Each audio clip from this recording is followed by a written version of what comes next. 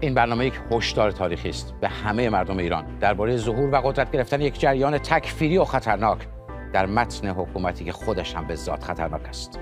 من مهدی مهدوی آزاد و امروز دوشنبه 25 تیر 1403 15 جولای 2024 خانم آقایان خوش آمدید به چشم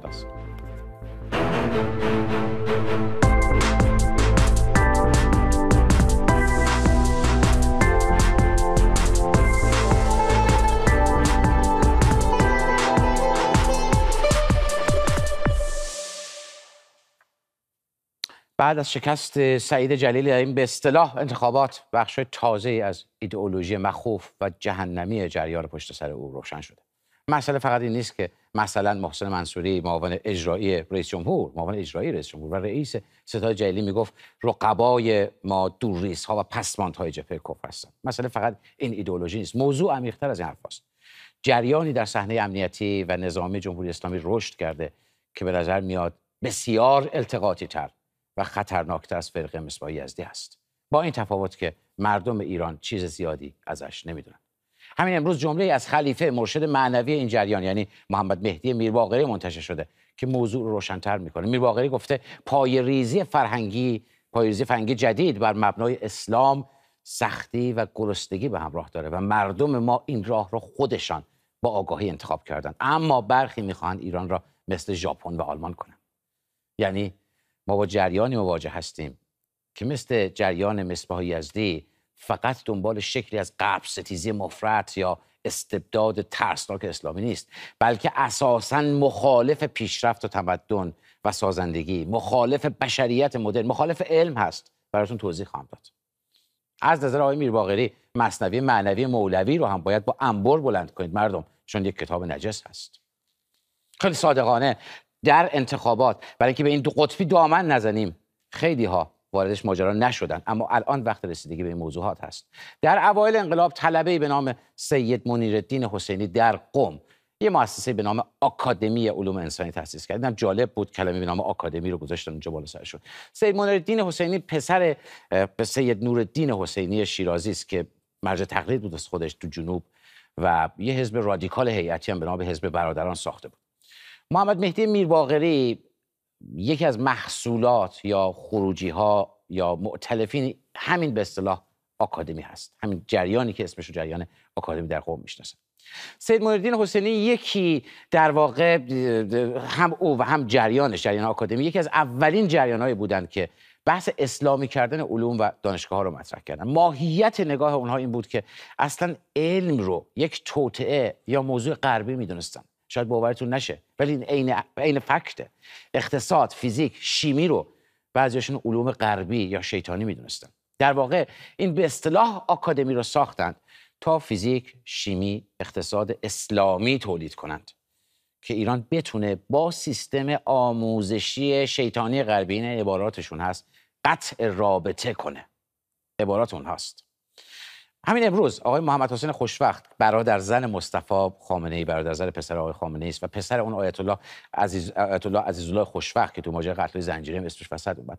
او نوشته که در توییتر نوشته که میرباقری و جریان آکادمی کسانی هستند که مرید منیرالدین هستند. اونها فیزیک شیمی و همه علوم تجربی و انسانی رو باطل می‌دونن. معتقدند باید حتی علوم پایه رو هم اسلامی کرد به شوخی نوشته به مسخره نوشته. از دیگر کمالات او منیرالدین هست و آقای باقری میر باقری میگه از دیگر کمالات او این هست که ارتباط علمی و غیر علمی با قبر رو هم رد می‌کنه و می‌گوید باید در انزوا تمدن اسلامی رو ساخت. منیرالدین و حتی همین آقای میرباقری به یک خصوصیت جالب هم شهرت دارند که این خصوصیت رو شما در حرفهای سعید جلی هم می‌بینید. اینکه استدلال ها طرحهاشون حرفایی که می‌زنن معادلاتشون به نحو ترسناکی فانتزی بعضی وقتا تخیلی بی مبناست. آقای محسن قرویان شاگرد مصباح یزدی یه زمانی سخنگوی غیر مستقیم او بود. میگه که بحث های سید منیرالدین و تئوری پردازی های جریان آکادمی بسیار تخیلی هپروتی و بسیار ماورایی است. این عبارات ایشونه. یعنی آش اونقدر شور هست که طلبه مثل آیت الله محسن قرویان که خودش از نگاه خیلی ها یک روحانی تندرو هست او می‌گوید به تئوری ها و حرف های منیرالدین و میرباقری میگه اینها حرف های تخیلی و هپروتی هستند. به خاطر احتمالا همین دریبری گویی هایی هست که آقای منیرالدین اساسا اوایل انقلاب حتی توسط روحانی تندرو هم کنار گذاشته میشه به تدریج. یه نمونه جالب خاطرات هاشمی رفسنجانی سال 1962 هست. آقای هاشمی در سال 62 خاطراتش نوشته که آقای شرعی بعد از یک ماجرای رو میگه آقای شرعی از قم تلفن زد از وجود منیرالدین حسینی. همین منیرالدین آکادمی در بین مسافران هواپیمای روبوده شده ناراحت بود. اما من من این هاشمی به شوخی بهشان گفتم نگران نباشید. با نظرات اقتصادیشان از آنها انتقاد می‌کنند و بالاخره کاری می‌کنند که آنها ناچار تحویلشان میدن یعنی طوری بوده فضاش این شما از خاطرات خوب می‌تونید بفهمید که برداشت حتی روحانیان هاشمی رفتن اون زمان جز روحانیون رادیکال بی تجربه تون بودن. دیگه میگه حتی اونها در واقع تصویر این آدم در ذهنشون تصویر آدمی بوده که انقدر دری بری می‌گفته انقدر خود اول می‌گفته که حتی آدم رباها روها بعدا مجبورن تحویلش بدن. یکی از برونده های این جریان چیزی که اسمش گذاشتن طب اسلامی. بپذیرن یا نپذیرن؟ یادم نره محمد مهدی میرباقری کسی بود که ویروس کرونا رو نوعی توهم یا همون توطئه غربی می‌دونست. اومد توی صدا و سیما گفت سازمان بهداشت جهانی دشمن ماست و ما اصلا نباید به حرفاشون اعتماد کنیم. بعد توی همون حرفاش میگه میگه که آبرویی برای علم پزشکی باقی نمانده. عباس تبریزیان خودش رو پدر طب اسلامی نامیده. میگه که علم پزشکی دروغ و فریبه. و اساسا پزشکی جدید پروژه نفوذ رژیم صهیونیستی آمریکا و استکبار جهانی برای نابودی مسلمانان و انقلاب هست. یعنی شما چجوری اینا رو باید می‌تونید ترکیب کنید؟ ترکیب توهم ترکیب واقعا بیسوادی بیخردی. یکی از کتاب مشهور رشته پزشکی که اسمش هست اصول طب داخلی هاریسون رو همین آقا طبق مراسم آتیش زد. این آدم همون کسی بود که موقع شیوع کرونا در واقع گفتش که برای موقع خواب یک پنبه آغشته به روغن بنفشه در مقعدتون بگذارید و خوب میشید. جریان میرباقری یا همون جریان آکادمی یه جریان سیاسی نیست. شاید بدون که خودش بخواد به یک فرقه تکفیری بسیار خطرناک تبدیل شده که اگر فرصت و قدرت پیدا کنه خروجیش لاجرم چیزی شبیه داعش و خلیفه البغدادی خواهد جریانی که خودشون رو در جنگ با مدرنیسم و تغییر تعریف کردن. با پیشرفت و توسعه اساسا مخالفن. برای رأی مردم دقیقا مثل مصباح یزدی هیچ ارزش قائل نیستن. نه فقط با اقتصاد یا جامعه شناسی بلکه حتی با پزشکی فیزیک و شیمی هم ستیز دارن. فتوای قتل میدن لازم باشه خیلی راحت. با اینترنت آزادی و همه چیز دشمنن. و محصول شکل حکمرانی آیت الله سید علی خامنه‌ای هستند. مولود و فرزند این شکل حکمرانی و این شکل حکومت هستند. به صراحت میگم مبادا خوشدار دادن و صحبت کردن در مورد جریان آکادمی و جریان بسیار افراطی و خطرناکی به نام آکادمی یا میرباقری و غیره در واقع تلقی به این بشه که همون بازی داستان و بد و بدتر و خوب و بد و این چیزا هست. نه اساسا این جریان تندرو و رادیکال که اگر قدرت پیدا بکنه اینا ناجرم یا ناخودآگاه چیز شبیه خمرهای سرخ خواهند شد. اینا محصول شکل حکمرانی فعلی و محصول علی خامنه ای هستند حتی اگر علی خامنه ای ته دلش با تندروی هاشون مخالف باشه. مهدی خلجی پژوهشگر نویسنده و تحلیلگر مسائل ایران از واشنگتن اینجاست. همچنین علیرضا نامور حقیقی استاد دانشگاه و تحلیلگر سیاسی از تورنتو. از ادب و احترام دارم. خوش آمد میگم به هر دو میهمان محترم. آقای خلجی اجازه بدید با, شما شروع بکنم. من دیدم که شما تو این زمینه فایل هشدار هم منتشر کردید در یوتیوب یا live اینستاگرامی گذاشتید. به صورت کوتاه اگر بخواید از همین داستان جریان آکادمی در قم توضیح بدید چی به ما میگید؟ مخصوصا اینکه برای من خیلی جالبه. به نظرم حرفاتون رو ارزشمندتر می‌کنه. اینکه در شما در اون فایل توضیح می‌دید که در موقعی که حوزه علمی قوم بودید و خودتون طلبه بودید این جریان از نزدیک می‌شناسید و ظاهرا اگر درست فهمیده باشید میگه فهمیده باشم اونجا گفتید که با آقای میرباقر یه زمانی هشت نش داشتید و رابطه داشتید رو از نزدیک خیلی خوب می‌شناسید. بله سلام عرض می‌کنم خدمت شما خدمت آقای نوار و بینندگان ارجمند تلویزیونی ایران اینترنشنال من در ابتدا عذر می‌خوام از شما و همینطور از بینندگان به خاطر سردرد شدید که به خاطر میگرنم دارم امروز یک از روزهای بد من هست. ولی یکی به خاطر احترامی که برای دوستی با شما قائل هستم پذیرفتم این مصاحبه رو. یکی هم به خاطر اهمیتی که این موضوع داره.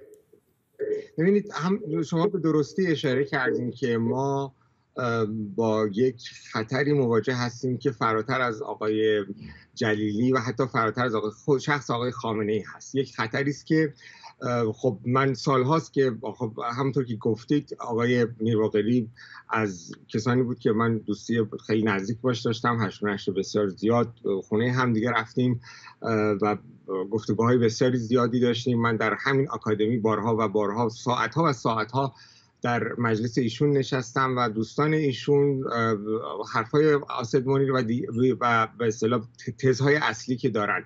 ولی خب طبیعتا به مرور زمان من متوجه شدم مخصوصا بعد از اینکه آقای خامنه ای آمد و به تدریج متوجه شدم که اینها دارن از یک گروه بسیار منزوی و اقلیت تبدیل میشن به یک قده سرطانی که نه تنها در حوزه که بلکه فراتر, فراتر از حوزه در وزارت اطلاعات در تیپ 83 امام صادق که در حقیقت سپاهی طلبه ها هستن. همین طلبه هایی که لباس به اصطلاح نظامی میپوشن با امامه و اسلحه رژیم میرن. در حقیقت تیپ 83 امام صادق که بسیار بسیار خطرناکن. در سپاه قوم و بعد کم کم متوجه شدم که در طول زمان با از طرق مختلف و شواهد مختلف نشون می‌داد که اینها یک پایگاه بسیار مهمی در دستگاه اطلاعاتی و در, و در سپاه پاسداران پیدا کردم من در انگلیسی زمانی که در واشنگتن اینستیتوت کار می‌کردم سالهای اخیر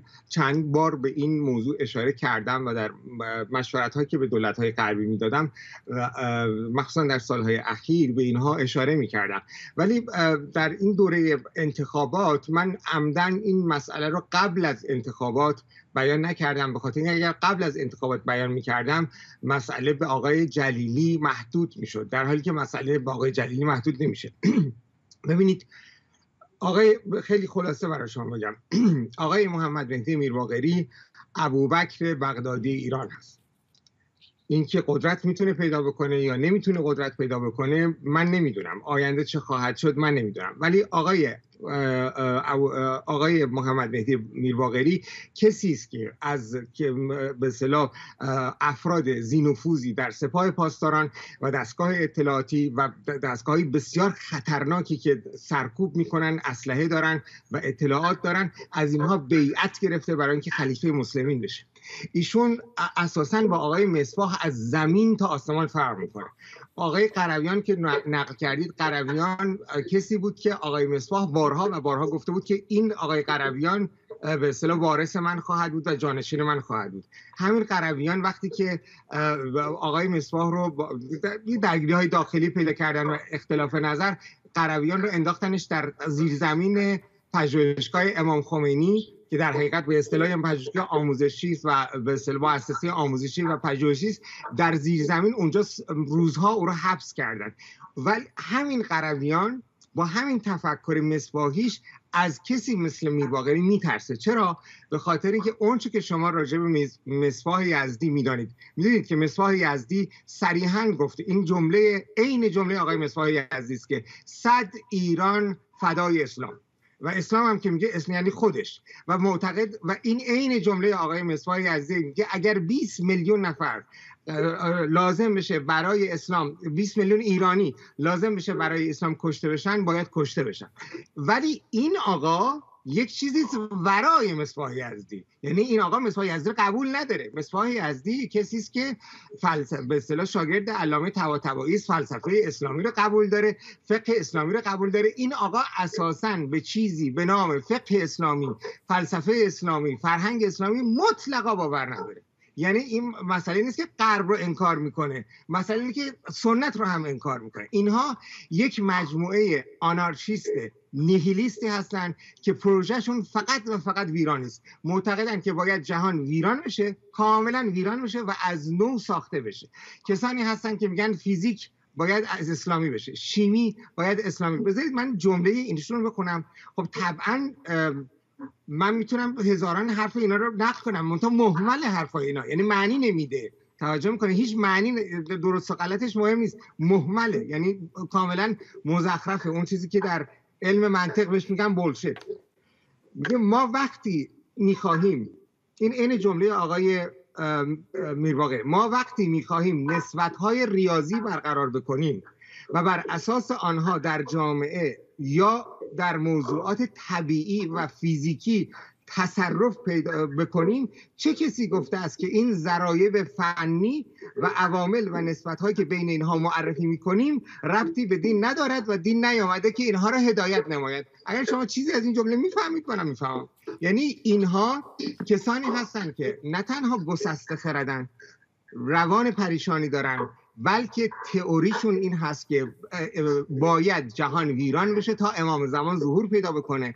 و معتقدن که از نو باید جهان جدید ساخت انسان جدید ساخت. نه اسلام سنتی رو قبول دارن نه مدرنیته رو قبول دارن. و هرگز اون چیزی که آقای مسواک قبول داشت و آقای مسواک درسته که آدم متأثر بود ولی دیوانه نبود. یعنی حداقل ریاضیات قبول داشت. سوالم همینه. حالا ما برمیگردیم دوباره با شما حرف ولی یه سوال دیگه می‌پرسم. کوتاه اگر میشه بگید من برم خدمت های نامور دوباره برمیگردم.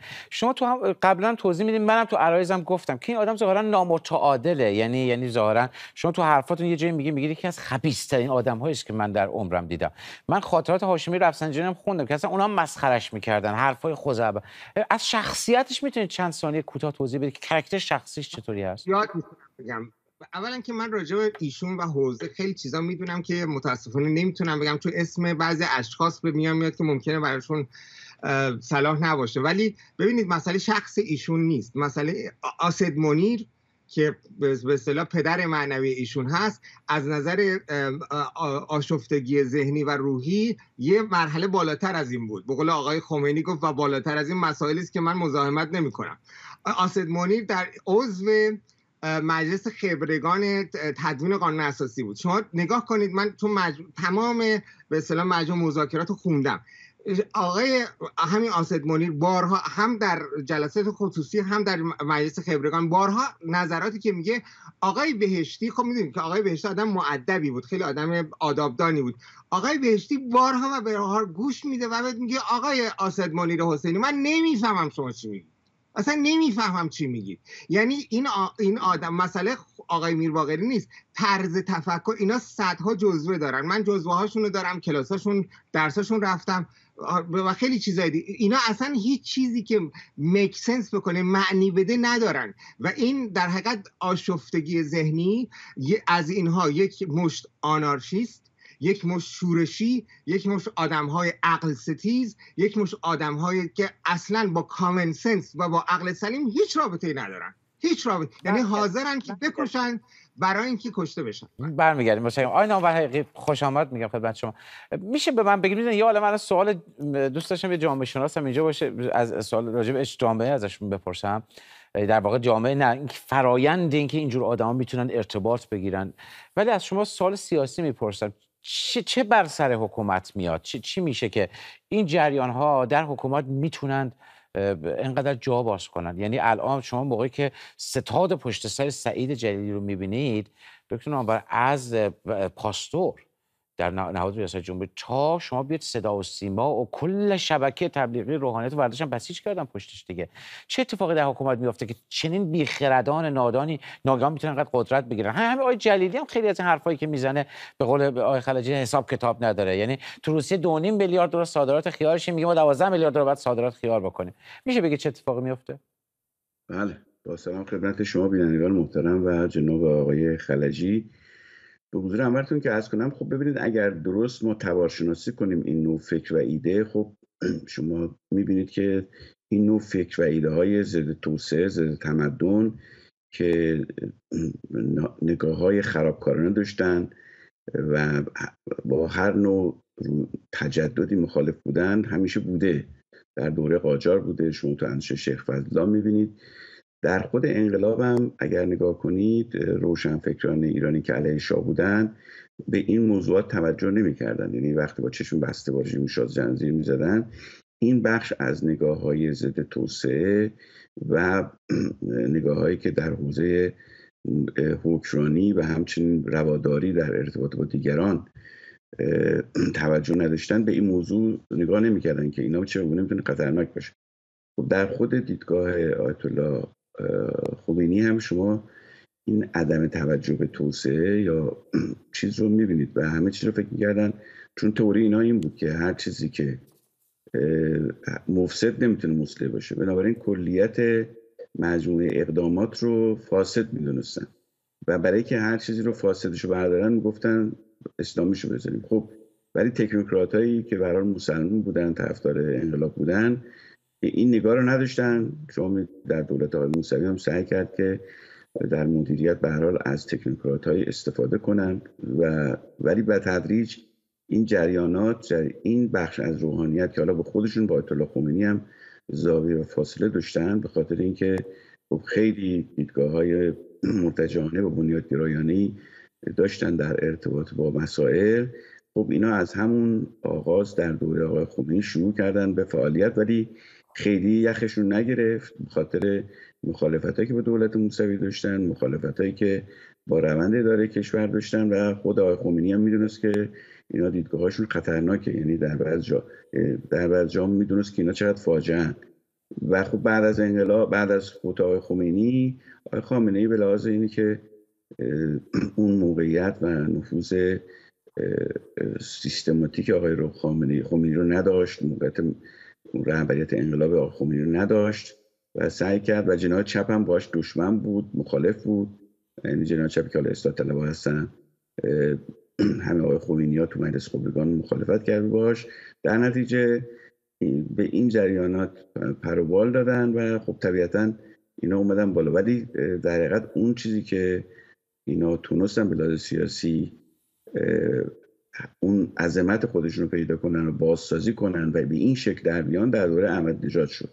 ببینید خیلی موقع انتخابات می‌گفتن مهم نیست در حال که احمد نژاد بود که با پولی که تزریق کرد چند تا اقدام بزرگ زد که زمین ساز نفوذ و سازماندهی اینا شد. قبلا در عرض فکر بودن ولی در الان در عرض قدرت و سازمان های امنیتی و قوه قضایی نفوذ کردن.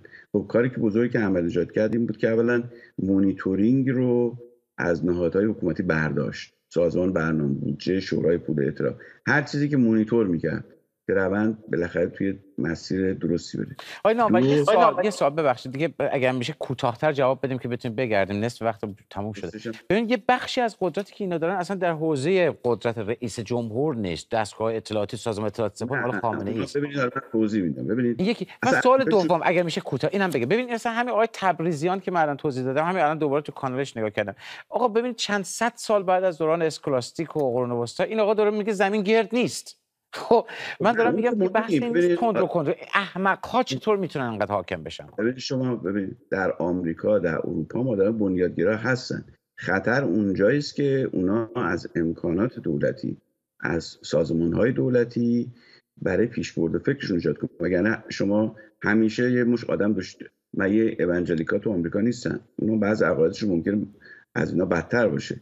مسئله کلیدی اینه که اینا دارن از امکانات حکومت مردم استفاده کنن ببین کاری که احمد کرد اون دیدگاهی که داشت در حقیقت هم اون مونیتورینگ رو برداشت هم تمام تکنوکرات هایی که بالاخره عاقل بودن. حالا هر مدلی اینا رو ریخ بیرون و اوور تمام اینا رو با اوور توی ساختار قدرت. بعد تو همه نهادها به اینا جایگاه داد و از همه مهمتر با اون پولی که به دست دادن به اینا تزریق کرد. بخش مهمی از قدرت اینا با پول شما کلی می‌تونید جایگاه نفوذ بله، بخرید.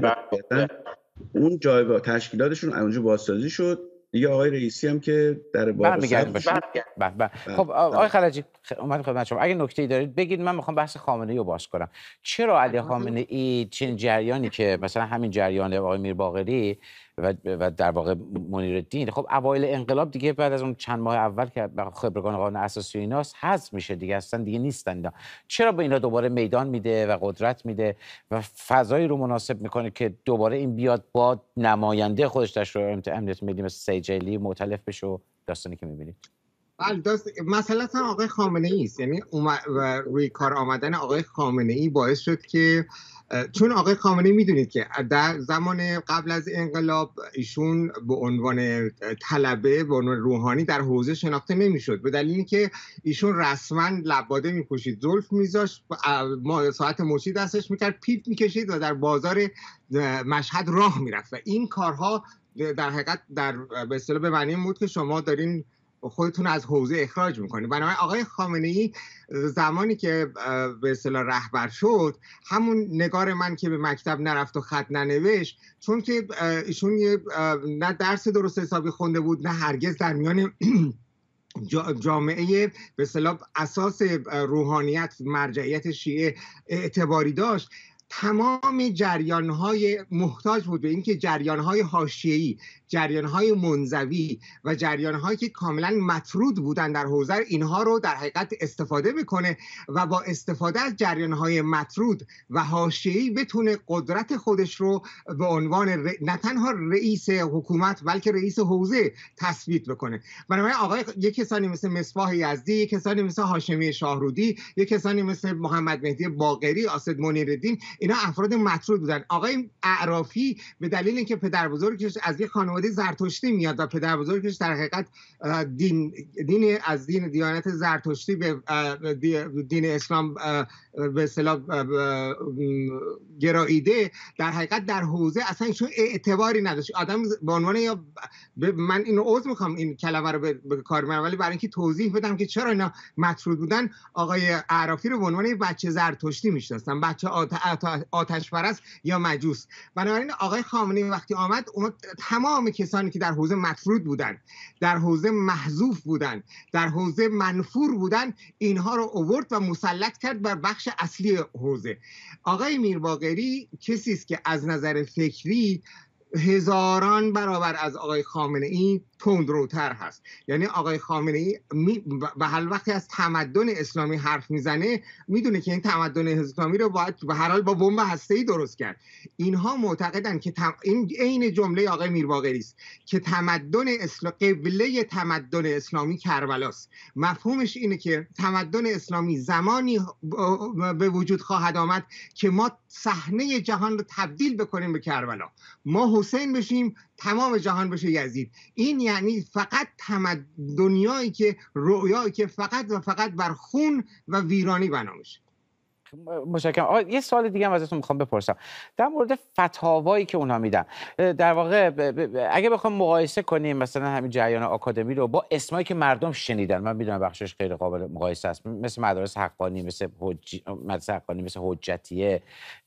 بخوام اینا رو مقایسه کنیم میشه من بگید تفاوت این جریان فکر جریان آکادمی با بقیه چی هست؟ این یک. و دوم مشخصا مثلا یزدی تفاوتش با جریان مصباح یزدی چی هست؟ و دوم فتاوایی که اینا میدن چارچوب فتوا نوع نگاه فقهیشون به فتاوا مسئله آزادی بیان انسان ها و غیره چطور هست اولا آقای این یکی از این جملات آقای میرباغری هست که خانم سمیه توحیدلو هم در توییتر نقل کردن. ایشون معتقده که یکی از عوامل بدبختی ما و از موانع رسیدن به تمدن اسلامی تحصیلات زنها و حضور زنها بیرون از خانه است.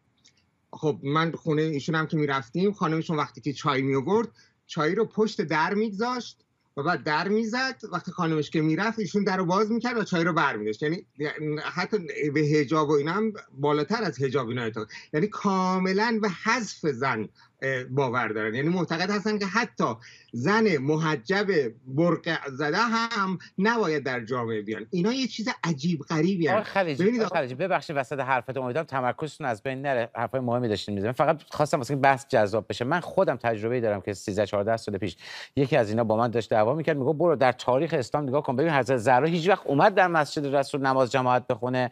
هیچ وقت اومد. پس واسه چی اصلا میگن زنا باید بیان مسجد؟ من اینو خودم با چشم خودم گوشه خودم شنیدم. بفهم اینا آقای آقای مصباح هم مجتهد بود هم فلسفه استاد فلسفه اسلامی بود.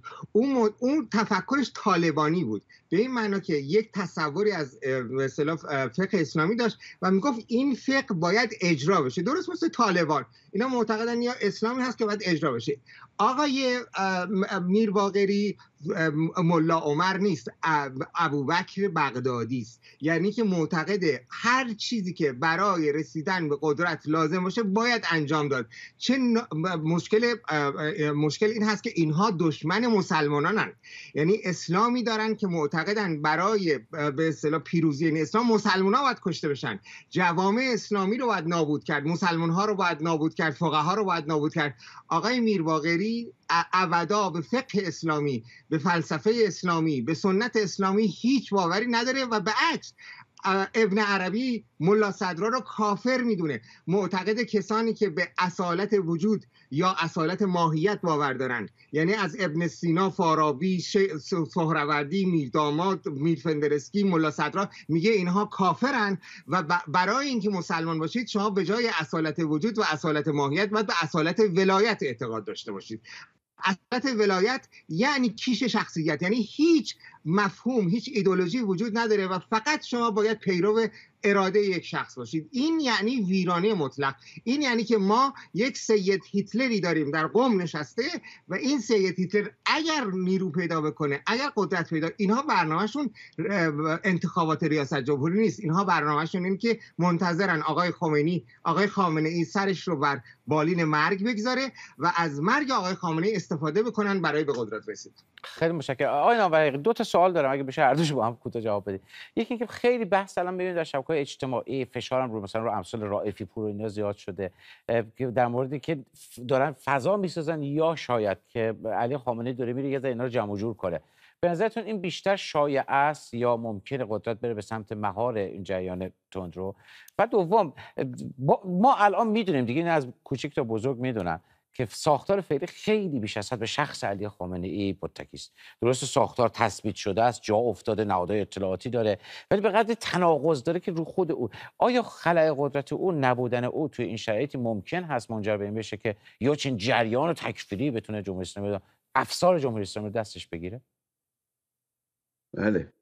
و همین داشتم می‌گفتم قدرت ریاست جمهوری منابع مالی که دستش هست اینا بسیار تعیین کننده است در سازماندهی اینا نفوذ دادن اونا و اینی که اینها بتونن شبکات خودشون رو سازماندهی کنن. دولت احمدی نژاد بزرگترین خدمت رو به اینا کرد. یعنی اون موقعی که اصلاح فکر کردن خب انتخابات فرقی نمی‌کنه شرکت نکنن باعث شد احمدی نژاد اومد. احمدی نژاد هم اون ایده گفتمان اینا رو تقویت کرد. هم آدماشون رو سر پستای کلیدی گذاشت که آقای جلیلی نمونهشه و همین که 100 150 میلیارد دلار به اینا پول تزریق کرد. با این پول شما همه کاری می‌تونید بکنید تو هر کشوری. و از همه مهمتر تو بخشای اطلاعاتی و امنیتی این جریانات رو تونستن سازماندهی کنن و نفوذ بدن و آقای جلیلی هم در حقیقت اگر میومد سر کار این بازسازی بنیادی این جریان بود. و علت اینم که در دوره دوم ملت ندادن نه به بنیادگرای جلی بود. می‌دونستن که این جریانات چه فکر و ایده دارن. این جریانات تو حوزه سیاست خارجی هم بسیار خطرناکن به این معنی که هم معتقد به ایزوله شدن ایرانن معتقد به قطع رابطه ایران با غربن و سوم در حوزه هسته ای هم معتقدن که ایران باید بره به سمت ساخت بمب هسته ای و در نهایت ایران رو وارد درگیری نظامی خواهند کرد. من حالا بحثایی که آقای خلجی به درست اشاره کردن ممکنه برای مردم عادی تفاوتاش مشخص نشه. ولی کاربردش در سیاست خارجی این خواهد بود که ایران یک کشور ایزوله شده خواهد بود با نظم بین‌المللی درگیر خواهد شد و می‌تونه خطرناک بشه در مورد اینی که خب حالا در این وضعیت موقعیت آیت الله خامنه‌ای به عنوان رهبر با اینا چطوری میشه؟ طبیعتا اگر شما نگاه کنید در تاریخ بعضی موقع شما جریانات رو میارید گسترش می‌دید بنا به دلایل دیگری ولی اونا اون جریانات می‌تونن راه خودشون رو جدا کنن و ادامه مسیر بدن و به راحتی نشه حذفشون کرد. من فکر می‌کنم خب حذف آقای رئیسی حالا یا فوت آقای رئیسی فوت آقای رئیسی کمک کرد به اینکه بخش مهمی از آرزوهای اینا و سرمایه گذاری اینا بره به, به, به قول من هوان منصورا بشه به خلا بره. و اینا خب نگرانشون اصلا این بود. شانس بزرگشون آقای جلیلی بود. ولی به نظر من آقای خامنه‌ای هم به این راحتی نمی‌تونه با این جریاناتی که ریشه دووندن در مشهد در قوم در بسیاری از شهرها شبکه درست کردن به این راحتی مقابله باشون راحت نیست. ممکنه از میزان نفوذشون کاسته بشه. الان تو تلویزیون بسیار نفوذ دارن تو قوه قضایی دارن. از نفوذشون کاسته خواهد شد. ممکنه کار بنیادی الان نتونن بکنن ولی به هر حال با توجه به منابع مالی که در اختیار دارن تو شبکه تحریم این شبکه تحریم ها نقش دارن شبکه درست کردن. این منابع مالی بهشون می‌تونه کمک کنه در موقعیت خلا اگر دیگر نیروها هوشیار نباشن یا آمادگی نداشته باشن بتونن نقش ایفا کنن. به حال همیشه خطرشون جریان بنیادگرا همیشه آماده به رکاب نیروی پا به کار داره و همیشه آماده است در اون موقعیت قدرت رو هر میزانش رو بتونه که قدرت رو سهم خودش کنه بنابراین خطرشون متشکرم. برمیگردیم خدمت اگه نکته مهمی نیستش. آقای خلجی ببینید من این سوال بعدا دور بعد از آقای نامورم می‌پرسم. اگر شما به جمهوری اسلامی نگاه بکنید 20 سال پیش چهرهای تندروش کیا بودن؟ علی لاریجانی حسن روحانی ناطق نوری. 20 سال پیش شما بخواستید بگید تندراکیان اینا. اینا الان همشون شدن نیروهای میانه روی جمهوری اسلامی. یعنی خیلی واضح است که نیروی سیاسی حکومت از درباد سیاسیش مدام به سمت یه نوع حماقت تندرو شدن و غیره پیشرفته. وگرنه اینا اینا که عوض نشدن. حکومت طوریست که تندروها قدرت بیشتر. آیا چنین وضعی در فقه جعفری در حوزه علمی قوم در اون فونداسیون غیر حکومتی مذهب می‌تونیم ببینیم؟ یا اینا فقط بخش از قدرت هستن که نفوذشون بیشتر شده؟ منظورم همین مثل جریان آکادمیه. رضوان سید یکی از بزرگترین اسلام شناسان عرب میگه که ما از سید جمال اسدآبادی آغاز کردیم رسیدیم به بن لادن. یعنی ما سری که ما شروع کردیم یک زمان وقتی که انقلاب ایران اتفاق افتاد آقای خمینی به عنوان رادیکال ترین چهره به اصطلاح مسلمان در دنیا مطرح شد. ولی وقتی که 11 سپتامبر اتفاق افتاد آقای بن لادن جای آقای خمینی رو گرفت و گفتن که بابا صد رحمت به خمینی. حداقل خمینی نیویورک رو منفجر نمی‌کرد. بعد که ابوبکر بغدادی آمد دیدن که با صد رحمت به اون بن لادن. اون حداقل نمی‌تونست این کار رو بکنیم بنابراین ما داریم میریم به سمت اینکه نیروها به دلایل مختلف در خاورمیانه نیروهای بنیادگرا دارن قدرت می‌گیرن. و مسئله این هست که شما علتی که من به این موضوع حساس هستم به خاطر اینکه این یه مسئله نیست که ما راجعش فقط صحبت کنیم. یک خطری است که اگر ما بهش آگاه بشیم هوشیار بشیم و همطور که آقای ناور حقیقی گفتن بشناسیمش. و خطرش رو بشناسیم می‌تونیم مهارش کنیم. اما اگر خطرش رو نشناسیم یعنی دست کم بگیریم. یعنی من خودم چهل سی ساله که اینها رو سی و پنج ساله که اینها رو می‌شناسم. سی و پنج سال پیش هرگز تصور نمی کردم که محمد مهدی با میر باقری به چنین حیولایی که امروز بدل شده و در حقیقت این قرار خلیفه مسلمانان بشه با ویران کردن ایران به همچین موجودی بدل بشه. بنابراین نباید هیچ موقع نیروهای شر رو شما دست کم بگیرید. باید بشناسید آگاه باشید هوشیار باشید تا بتونید اینها رو مهار کنید آره ولی این مسائل هم میمونه. اگه میشه کوتاه بگید که خب اگه اینجوری باشه تا ابد ده که حکومت می‌تونه بین بد و بدتر نمی‌دونم اینجا یه دونه هویج ورداره بیاره اینور جلوش جلیلی بذاره. این دفعه نمی‌دونم یه دونه پیاسچه بیاره جلوش میرواقعی بذاره. ما چیزی به نام بد و بدتر ما بد داریم. شما چیز بعد منظورم که حکومت همیشه با این روش می‌تونه بازی کنه. متوجه من ارزم خامنه ای خامنه ای بد نیست میرواقری بدتر. این خامنه ای هست که میرواقری رو درست کرده. خامنه ای یکی از گناهان خمینی است. میرواقری یکی از گناهان خامنه ای است. بنابراین اون بد هست که بدتر رو تب... میزاد و به وجود میاره. بنابراین ما هرگز نباید بین بد و بدتر به اصطلاح انتخاب کنیم. ما همواره باید در نیروهای شر رو یکسان ببینیم و برای مقابله با اونها آماده باشیم. متشکرم. خب آقای و همین سال از شما بپرسم اگر شما به کاست سیاست به صحنه سیاست نگاه کنید نیروهایی که 20 سال پیش نیروهای تندرو رادیکال بودن الان به جایی رسیده که جامعه میگن به قول آقای خالدی صد رحمت به اونا و تندروهای اومدن به مراتب وحشتناکتر. خیلی عجیبه چون حکومت های ایدولوژیک منطقا در گذر زمان باید عاقلتر بشن دیگه منطقا باید باشه ولی اینها بدتر شدن. چرا؟ اون کارگزاران که عاقلتر شدن یعنی همون کارگزارانی که اون موقع تندرو بودن به مرور زمان متوجه شدن. اینا نیروهای خ... اینا نیروهای جدیدی که شکل گرفتن. اینا حتی به آقای خامنه‌ای هم اعتقاد ندارن. یعنی آقای خامنه‌ای برایشون ابزاره. و و می‌دونید که اینا گفتن ما می‌خوایم خونخواهی آقای رئیسی کنیم. یعنی معتقدن آقای رئیسی رو کشتن. و یکی از دلایل اختلافشون با قالیباف هم همین بود. گفتن آقای جلیلی برای این می‌خواد بیاد. که خونخواهی آقای رئیسی کنه. یعنی که خون رئیسی حرام نشه چون کشتنش رئیسی رو. و چون در مجلس خبرگان هم خب تو مجلس خبرگان آقای رئیس تنها کسی بود که ریا... تجربه ریاست تو خبره داشت و کسی الان نداره توی مجلس. بنابراین اینها از این بابت فعالیتشون رو ادامه خواهند داد. ولی اون چیزی که مهم است این است که ما خطوط کلی اینا رو باید نگاه کنیم. ببینید اینا هر جایی که تو سیاست های راهبردی می‌خوان اختلال ایجاد کنن. همین همین بحث بحران هسته ای خط هسته ای یکی از جایی اینا می‌تونن بازی کنن. مخدوش کردن. بحث اسرائیل رو بزرگ می‌کنن برای که می‌خوان این هزینه دار بکنن برای ایران. بحث همین جبهه مقاومت گسترده کردن جبهه مقاومت. و سوم که مش آدمای نفوذی مثل آقای سام مهدی ترابی آقای مولانا که فارغ التحصیل دانشگاه خارجن به اینا رو ساپورت می‌کنن. برای که هر چی رادیکالیزه بشه این سیاست رادیکالیزه شده به نفع غربیا و به نفع کسانی که می‌خوان ایران ایران بشه چرا؟ چون می‌خوان نیروی انسانی بفرستن خارج. میگن اینا منتقدن نمونن منابع مالی بره خارج و اینا ضعیف شده بمونه. و برای این بنیادگراها وضعیت ضعیف شده ویران شده بهترین حالتی است که باقی میمونه. بسیار سپاسگزارم از مهدی خلجی پژوهشگر نویسنده و ترجمه مسائل ایران از واشنگتن. همچنین علیرضا نامور حقیقی استاد دانشگاه و تحلیل سیاسی از تورنتو.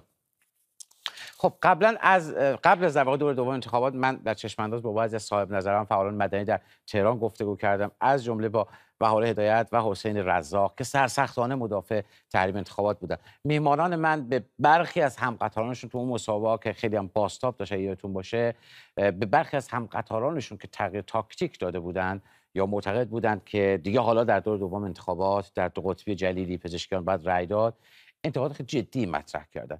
کیوان سعیمی که من برای شخصا احترام بسیار عمیقی هم قائل هستم یکی از همین فعالانی بود که مورد نقد و پرسش قرار گرفت. یه توضیح کوتاهی از کیوان سعیمی رو می‌خوام تقدیمتون کنم. برای اینکه مطمئن باشم نگاه هر دو طرف باستاب پیدا کرده. ضمن اینکه الان درباره این این جریان تکفیری خطرناک که صحبت می‌کردیم می‌گفتم که جامعه باید مبارزه کنه. جامعه باید بیسته و اینجا جامعه یعنی خیابان. این ویدیو رو لطفا ببینید. می‌دونین که در سال 58 رفراندومی که انجام شد 98 درصد به جمهوری اسلامی رأی دادن فقط دو درصد مخالفت با این حکومت کردن و این نوع حکومت الان چی؟ الان می‌بینیم که این دو درصد شده هشتاد و دو درصد. با محاسباتی که قبلا هم توضیح دادم و نوشتم و اینها.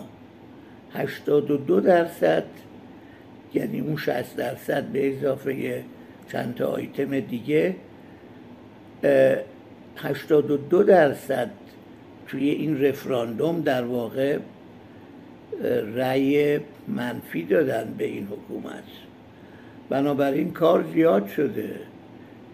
کار زیاد شده و مردم به اصطلاح زحمت زیاد کشیدن. دخترای عزیزم بهاره هدایت و گررخ ایرایی رو درک می‌کنم و میبوسمشون. همه اونایی که اون شست درصد رو میبوسم و همچنین الباقی رو تا همون هشتاد و دو درصد. ما باید از این به بعد همگیمون دست به دست هم بدیم همه هشتاد و چند درصد دست به دست هم بدیم و به تدریج و گام به گام پیش بریم برای تغییرات اساسی و کماکان هم خیابان راهگشا خواهد بود. حضور مسالمت آمیز خیابانی. به تدریج اصطلاح تغییراتی رو ایجاد خواهد کرد و تنها حرکت های تدریجی هستش که به یک دموکراسی پایدار ختم میشه و آجر روی آجر می‌ذاره. کیوان سعیمی بود می‌گفت خیابان همچنان باقی است خیابان کم کماکان راهگشا است خانم آقای مواظب خودتون باشید دنیا به شما نیاز داره و خداحافظ.